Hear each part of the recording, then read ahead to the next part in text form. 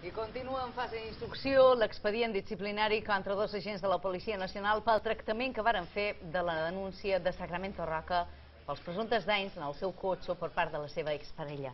Se'ls investiga per una possible falta greu, però l'expedient encara no s'ha resolt. Ahir, al jutjat d'instrucció, varen declarar diversos testimonis del cas, entre els quals hi era el pare de Sacramento.